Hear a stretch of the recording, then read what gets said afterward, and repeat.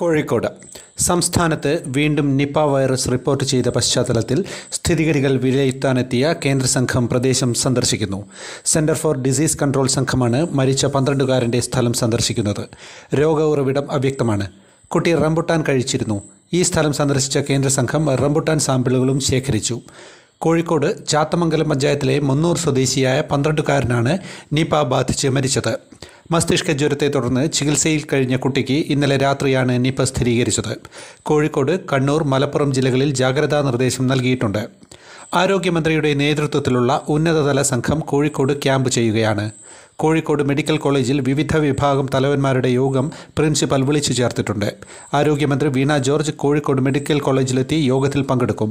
medical college principal collector വിവിധ വകുപ്പ് മേധാവിമാർ എന്നിവരുമായി കൂടിക്കാഴ്ച നടത്തും നടപടികൾ വിലയിരുത്തും തെങ്ങുവയറ്റ തൊഴിലാളിയായ പാഴൂർ മുന്നൂർ സ്വദേശിയുടെ മകനായ പന്ത്രണ്ടുകാരനാണ് നിപ സ്ഥിരീകരിച്ച് മണിക്കൂറുകൾക്കകം മരണത്തിന് കീഴടങ്ങിയത് രണ്ടാഴ്ചയോളമായി പനിയും തലവേദനയും അനുഭവപ്പെട്ട കുട്ടിയെ ആദ്യം ഓമശ്ശേരിയിലെ സ്വകാര്യ ആശുപത്രിയിലും പിന്നീട് കോഴിക്കോട് മെഡിക്കൽ മെഡിക്കൽ കോളേജിലും പ്രവേശിപ്പിച്ചിരുന്നു